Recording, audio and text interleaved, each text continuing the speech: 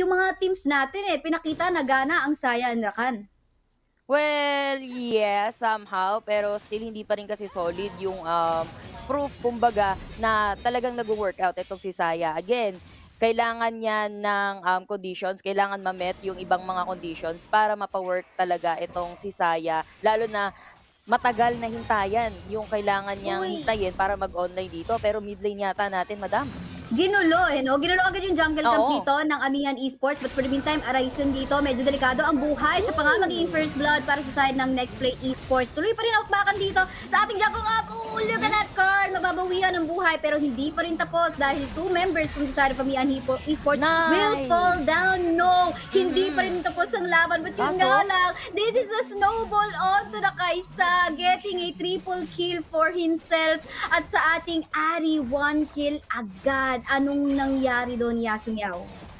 Well, yun nga, nagmasim dito yung Next Play Esports thinking na pwede nilang magulo yung side, ah, yung jungler ng side ng Amihan Esports. And I think ito yung communication at its finest coming from the side ng Next Play Esports. Kita mo naman yung responde ng buong magtotropa. Andun silang lahat para nga naman makuha nila yung advantage. Samantalang Amihan Esports, iniwan lang naman nila si Demon at the bottom lane. And then the rest of the Amihan Esports, nayatarp chiwap agad. And yep, kilalang kilala natin yung next play sa kanilang um, laning dito. Sila lang naman yung naglalagay din. I think isa sa mga nag-umpisa na naglalagay ng kaisa sa Baron lane natin and ginagawa na naman nila to, madam. Habang yung bottom lane natin may action yata. Ang Action Jackson, indeed. Four-man gap dito sa bot lane part ng mapa natin. Arisen dito. Delikado ang buhay. May stun pa nga Yeah. ng bahagya. At ayun, Yatarp nga naman din doon. At Mhm. potentially pwede rin makakuha ng first turret. Kasi maganda na eh. Dalawang plates na ang nabasag dito sa bot lane natin. At potentially pwede pa Oo. sila makauna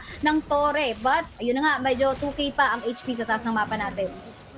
Yeah, pero middle lane yata natin, mukhang hinahabol nila dito. Ito si Mitsura pero makakaligtas pa rin naman siya. So going back to the team fight, Amihan, actually going back sa Visayas um, League natin, Amihan, kilala din sila sa pag-group up. Talagang bully kung bully. Numbers versus ah, mas mababang numbers ng kalaban dito. Ganito yung ginagawa ng Amihan. Grouping up and then picking off, sabay mamba out. Then kapag ka nakakuha nga ng tore, gaya ng nasa baba, ah, iti-take nila talaga yung chance na yon. We're in Next Play Esports though, uh, magaling silang mag-punish ng mga Mm, mistakes. Amihan, nagkaroon na sila ng mistakes ng early, pero if I were them, kailangan nilang gawing minimum or ano eh, zero to none. zero na nga to none. Yung mga mistakes nila dito against Next Play. Kasi Next Play, so far sa lahat ng teams na napanood ko or napanood natin, sila yung magaling mag-turn around, sila yung magaling mag-ano, comeback. Pero bottom lane, madam, Ito na nga, naghahanap na ng turnaround. Ang Let's Play Esports, makikita natin dito disaster super low on HP right now. Jarvan Force will fall down. At two members pa nga yun sa side ng Mian Esports na napunish agad ng next play. They would want to go for the third push but nakandito na itong si Oriana na alam naman din natin na fast lang din siya in terms of going for that clearing of minion waves.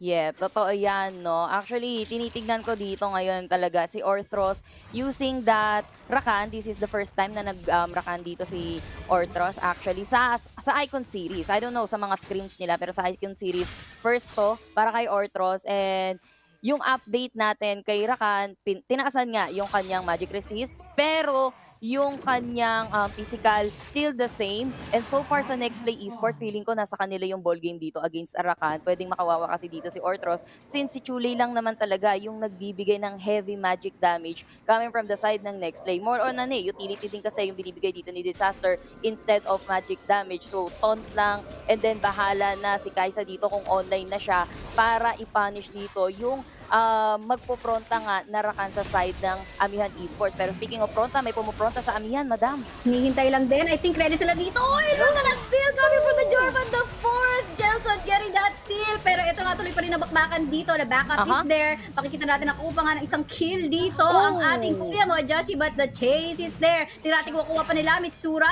Hindi pa rin papaawat. There's the flash in. Ang iyon. Yep. Nakuha pa nga dito si Galio na yatar pa kuya mo disaster. Habang itong ating solo laner sa top lane, Carl as well as Arisen, wala munang pake dun sa ating mga four-man gangs na nangyayari sa baba. Mhm. Alam mo yung strength dito, madam, ng side ng Amihan Esports, nasa kanila nila yung initiation. Pero mid lane muna natin. Uy, grabe naman yun. The damage is definitely there, Demon. Delikado rin nalagay. Three-man chase yan. Oo.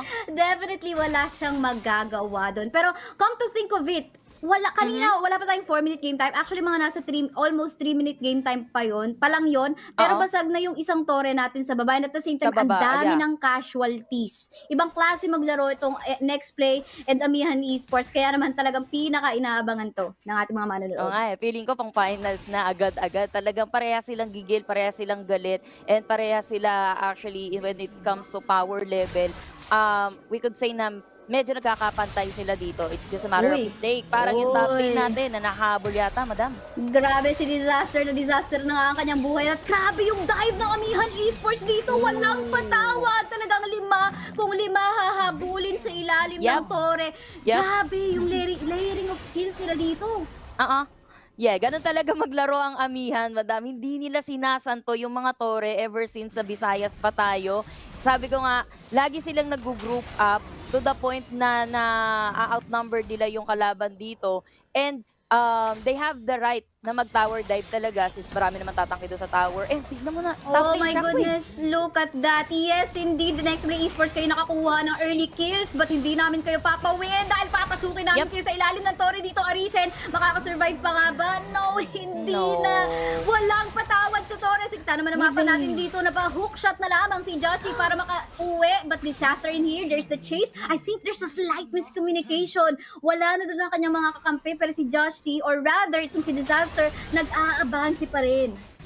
Yeah. Pero kasi, kung makikita natin, madam, sa composition dito, Amihan Esports, sila nga yung merong um, AOE initiation, AOE uh, targeting dito with Cataclysm and also yung Orthros na pwede niyang makuha na charm. Against Next Play Esports dito. We're in Next Play Esports, more on single target kasi sila sa mga damage dealer nila. Like um, itong Kaiza, si Kaiza ay Kapian Ray lang naman yung kanyang EO dito. Pero normally yung normal attack niya pang single target lang. Chulay as well for the Ari, hindi din naman ganun kalaki or kalawak yung AOE na pwedeng gawin dito ni Chulay as well, lalo na yung charm. So isang, isa lang yung pwede niyang mahuli dito. So Amihan Esports, they have two options. They have two um, um, starters ng gulo dito in the form of Orthros and Gelson. Kaya meron din silang right talaga eh, na humabol sa team fight. And yun nga, Symphony of Skills, pagkakasunod-sunod nung mga stunts, nung mga CC. And so far ha, si Demon dito, ang ganda ng kanyang um,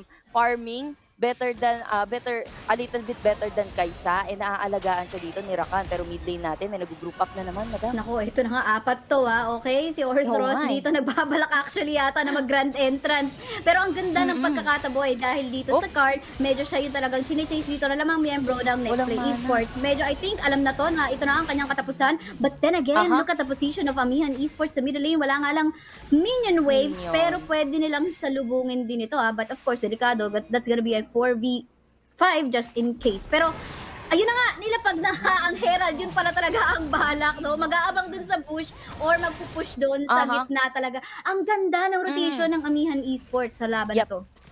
Yeah, actually nilapag nila yung Herald pang ano lang, pang joke lang kasi nga up na yung dragon natin dito pero hindi sila magda-dragon madam, mga habol pa yung amihan. Nako, napuwersa na nga. Kumbaga pressure day. ah, they gave an option dito para sa next play esports kung magde-def basta mid or papwesto dun sa dragon. Kasi syempre, ano bang iisipin mo? Ha, paalagaan ba yung tore mo or bibigay namin itong dragon sa inyo? Kumbaga, ang ganda ng saikuha na pinakita dito ng Amihan Esports. Kumbaga, yung lead kanina dun sa snowball na nagawa ng Kaysa as well as ng Oo. Ari, nawala. Yeah, nawala nga. And next play, sila yata yung nagre-react sa ginagawa ng amihan sa ngayon. Usually, next play yung nagane eh. Somehow, nagdi-dictate nung games natin way back sa North Luzon. Pero next play yung lineup kasi nila dito, parang by the book. Parang ito din yung mga lineup dati na nakasanayan natin. Even without the patch, ah, wala pa yung patch noon. Parang ito pa din. Kumbaga wala pa rin silang ano eh, wala pang naihain na bago. So amihan, ah, feeling ko nakasulat to sa notebook natin. So uh, playing to their strength, playing kung saan, kung ano yung napag-aralan nila against next play, yun yung binigay sa kanila ng next play. Kaya na, andaling ano eh, mag-react dito ng Amihan Esports and more on Amihan Esports, talagang um, kinukuyog literal yung next play dito when it comes to outnumbering them and as well as in, ano eh, alam nila yung prioritization kung team fight, team fight. Kung objective, objective. Yun yung very well respected para sa side ng amihan dito. And next play, I think nakaramdam na sila, uy, teka lang, mukhang parang tayo yung nagre-react sa side ng amihan dito. Naglalaylo muna sila ngayon and then maybe waiting for amihan na magkamali dito, may, waiting for amihan na magkaroon ng bad call na pwede nilang ma-turn around later on. Mhm, definitely doon no nakikita natin ang advantage or ang lead dito sa side ng Mian Esports. They still have to be very careful dito, especially if we talk about late game na, no? Because that is still Oo. a Kaisa and a Galio and of course, uh, dito kay Arisen na Gare na kaya mag-frontline later on. So, they still have to respect it but with how Amihan is actually putting a lot of pressure up against Next Play Esports, nahihirapan ng Next Play Esports kasi lagi sila napipitas eh. Laging may napipitas or napipick off kada rotate nila sa mapa. Yeah, totoo yan, madam, no? And minsan na delikado kung hindi si Uze dito, si Josh hindi na siya nakakapag-combo pa kasi low health na rin siya agad. Pero tama nga ba yung call na to na Baron? Mukhang Actually, hindi naman alam I na like next this. play wala silang vision. Actually, I like this. Kasi nakita nila, may ward sila sa baba ng mapa ng ah, Next Play Esports, di ba? But then again, tingnan natin ang fight dito. Masisecure pa nga ng Amihan Esports. But tignan natin kung magkakumit sila sa team fight. Yun lang ang naging mali dito. I think they Naku should have backed away dahil nauubos ang ilang miyembro ng Amihan Esports dito. But the grand entrance is there. Nako, medyo Aha. naubos yata yung mga bank na Aha. nakuha ng Amihan Esports dito. Naku, wala nang nagawa. Pati si kuya mo, Jelson, binigay na rin yung buff. Here is the thing. Ang ganda ng call na, Mhm. di ba tinatanong mo kanina kung okay Yeah, lang ba yun? yeah, okay lang oo, yun, oo. as I see it. Kasi si Joshi, nakita nila dun sa bot lane part ng mapa na nag-teleport pa uwi. So, yun yung call nila na sige, start natin to. But ang naging mali doon is nakipaglaban pa sila after makuha Oo. nila yung Baron. Dapat itinakbo na talaga nila yung Baron buff na yon and then reset and then look for um, tower push. Pwede pa siguro nilang ma-pressure um, either mid lane, lalo na mid lane, napaka-importante niyan para nga naman magkaroon ka ng access sa mga jungle dito or other side lanes dito. Yun yung naging maging, ah, maling call talaga ng amihan instead of keeping the Baron buff sa lima sa kanila. Talagang ano, pinagsalpukan pa nila itong next play. And honestly, tinitignan ko din kasi hinahabol neto ni Mitsura itong si Uze. But Uze, masyado siyang mabilis, I guess, sa mapa dito and mas may mobility siya, I believe, kumpara sa isang Oriana na even though naka-face rush, pero kung hindi naman kasi tumatama yung skill niya, hindi mapapap yung face rush niya agad-agad. And yun nga, hindi niya pa nga naabutan si Uze. I think magiging worth it sana kung medyo naabutan niya si Uze, pero amihan, hindi pa rin naman daw tapos ang kanilang aggression dito kasi kukunin pa nila yung top turret and going for more, madam. Grabe, lima to ah. Lima, wala silang pake kahit mag-push doon yung ah, Kaisa sa baba ng mapa natin because they wanna take advantage. Doon sa map! Oh, look at that shockwave connecting onto Chole. Chole super low, but hahanap nga siya na charm dito. But yun nga lang, Jarvan the Fort, gonna go for that cataclysm. Then again, you have to respect the buff na meron pa rin dito ang Oh. Amihan Esports dahil napakasakit. But then again, disaster. Gonna go for the Taki plays, gonna go for the taunt as well as the CC plays na ubos bigla ang Amihan Esports. Although nakuha nila yung inhibitor turret, that was still an ace Mhm. coming from the side of next play. Of course, brought to you by Oppo Reno 5. Yep, indeed. Pero hindi ko siya, um, di talaga natin siya pwede tawagin ng mission accomplished para sa side ng Amihan Esports. Medyo napalalim sila doon, lalo na si Jarvan. And yun nga, with that ace, nabigyan pa nga ng dalawang tore dito. Yung side ng Next Play Esports as well as isang Dragon, isang um, Cloud Drake na madadagdag sa kanilang permanent buff sa next sa side ng Next Play Esports. Ito yung sinasabi ko, Next Play Esports kapag ka nagkamali yung Amihan Esports dito, magaling sila mag-punish. Pero hindi ko pa naman din sinasabi na Next Play Esports tuloy-tuloy na yung kanilang pag-angat sa economy natin. But it still depends sa Amihan Esports dito kung aasin sila. Again, kagaya ng ginawa nila sa top lane kanina. Mm, kasi lumiit yung gold gap natin. Mas nakakahabol Oo, eh. na ngayon ang next play esports. Kung baga kung mamaya tingnan natin yung graph, eto na yung paghabol ng next play. Kasi kung makikita natin sa 5v5 fight, mas lamang din talaga ang next play dito. Pero pinilit nga Mm. ng Amihan Esports not knowing na nandun na yung medyo makunat na disaster. Pero teka lang, talking about na makunat na disaster, eto na nga, magtoton. Gonna go for that kill, Ari Joshua will fall down. Teka lang, medyo na-separate ang team fight natin dito. They're gonna go for Uzi. Uzi's gonna go for that flash. Pero may habol naman si Carl dito as well as the rest of members of Amihan Esports. Oh, Double kill pa nga dito sa kabilang banda. Mamamatay na si Galio na nakahiwalay kanina at mukhang mauubos pa yata ang next play esports. Si Arise na lamang ang natira. Pero sabi yata ng Amihan Esports, baro na lang muna siguro tayo dito kung meron pa kayong Mhm. mga HP. Pero si Jelson wala pala, no? Baka may honey fruit naman dyan. Yeah, baka may honey fruit tayo dyan, no? Konting golden healing lang Kon din. konting Pero, mukbang lang. Oo, mukbang tayo. Pero honestly, from that team fight, next play esports, um, nakapag-face check naman sila. Kaso nga lang yung face check nila masyadong close doon sa location ng Amihan Esports. Amihan Esports, nag-aantay lang sila ng customer, literal. And kita mo naman yung mga placing ng mga wards natin sa mapa. Oo. Kitang-kita yung ano, kung saan dadaan, kung saan galing, at kung nasaan yung mga location ng the rest of next play esports dito. That's why Amihan, nasa kanila yung mga information ginamit na lang nila yon wisely. And another baron na naman to, this time lima na silang may buff, ah, may baron buff at this could be a potential push na naman. Baka may babasagan na naman ng um, inhibitor turret dito, yung side ng Next Play Esports. Mamaya kapag ka na-clear na nila yung mga minions sa ating bawat lanes for the side of Amihan. Mhm. And uh, makikita natin dito, they're actually trying to group up and set up a play if in case may mag-advance dito sa next play esports. But, yun nga, no, lima ang may buff dito. So, I think kailangan somehow respetuhin niya ng next play esports, especially kung alam natin